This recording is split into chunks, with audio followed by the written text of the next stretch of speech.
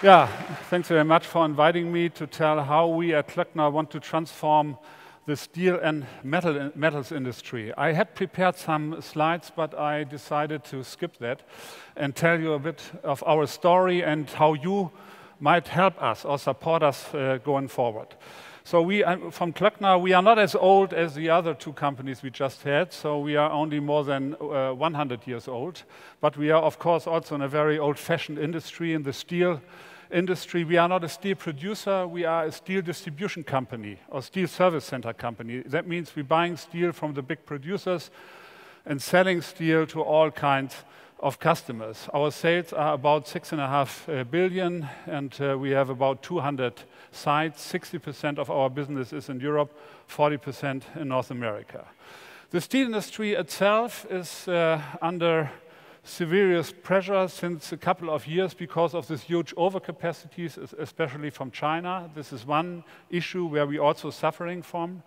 And then on the other side, also the steel supply chain. The so far still linear pipeline-driven steel supply chain is very old-fashioned.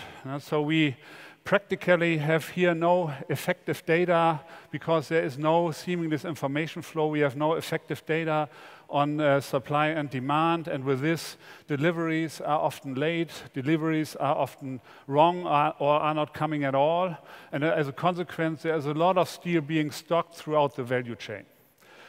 And a certain part of our initial core business, steel stock holding, depends on this in transparency because we had to stock steel to provide to our customers, especially in the spot business, to provide the steel they want to get. But when there would be a platform which would move away this intransparency, then also a significant part of our core business would be moved away. And against this background, we were developing a couple of years ago, four years ago, meanwhile, uh, the vision of an uh, industry platform, of a digital industry platform where all participants within this industry are connected. So on the one side, the producers, on the other, the other side, the customers, but also, of course, our competitors, and then a couple of third-party uh, groups and uh, companies. That was our vision. We started, but we started to develop this platform not in a conventional way, how we typically do it as an incumbent, that we setting up a big project team, that we're spending a lot of money. We, we uh, started very small. We started with two people here in Berlin in the Betahaus in a co-working space, and we started to find out uh, from the customers where their real, where their pain points really are. Uh, we developed then the first prototypes, the first minimal viable products. We implemented these products. We then uh, improved these products or tools together with our customers. And we're doing this here in Berlin in, a, in, a, in our own startup, if you like, called Klöckner.i. We meanwhile employing here 50 people out of uh, uh, mostly digital natives. And with this 50 people, we're developing all these tools and finally the platform. This is, of course, a different company than Klöckner. We have different resources. We have, on the one side, uh, we have uh, uh, assets and steel guys. On the other side, we have digital natives and intellectual properties. On the one side, we have, uh, we go always for perfection, uh, and we have reliable processes. On the other side, uh, we have the lean startup approach. We have agile software development and, uh, and others. So very different companies and with very different cultures. The, uh, a very important issue here is when you, as an incumbent, establish such a such a, such a digital hub or, or, or, or, a startup, the very important issue is how to position this company. How independent should, uh, should, uh, should uh, such a, a, setup be?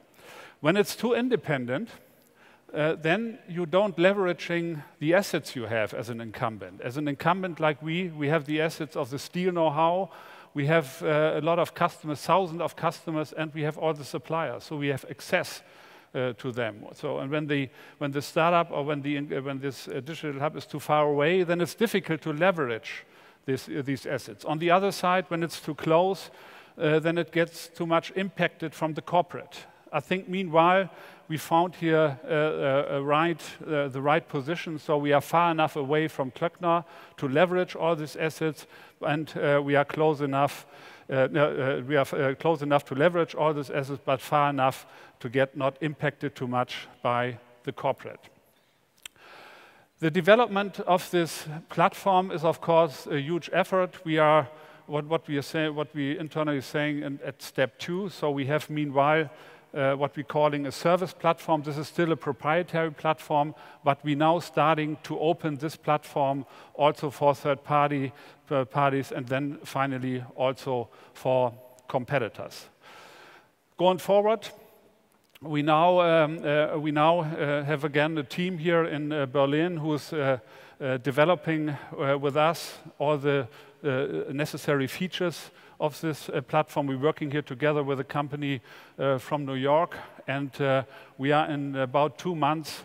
We, we can then really start to the final steps to implement and, and, and to implement this new platform. What can, what can you do? What, how can you help us?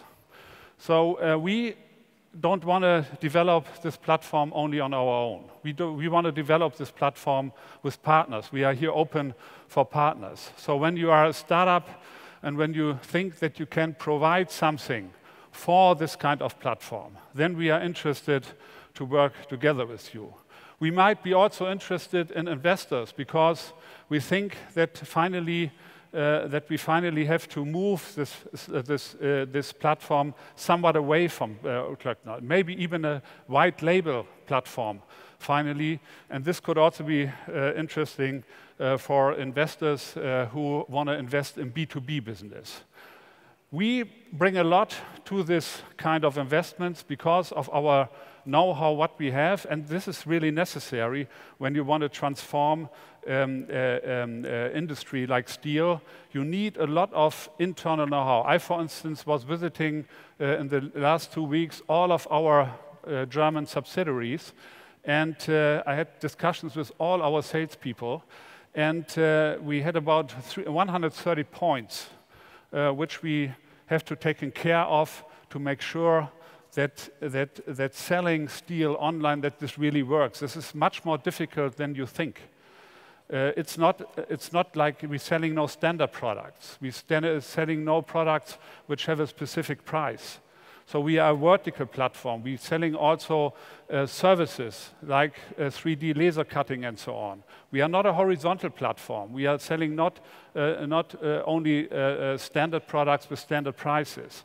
And for these vertical platforms, there is a lot of this know-how necessary, but we also need the know-how from startups to make this happen much more quicker than we are used to it uh, in the past. And this is something which could uh, attract some of you. Yeah, to sum it up, we think that we are here with our platform uh, strategy on the right way. We think that we're moving here clearly in the right direction. We will see this kind of platforms also in other industries. We will see here also some kind of winner takes it all uh, uh, effect. Maybe there's not finally one platform, maybe, maybe there are finally two or three platforms, not that, uh, but not that many. But important is that you start as early as possible. And when you want to support something to this, please get in contact uh, uh, uh with me and uh, we may do, then do something together. Thanks very much for having me. Thank you.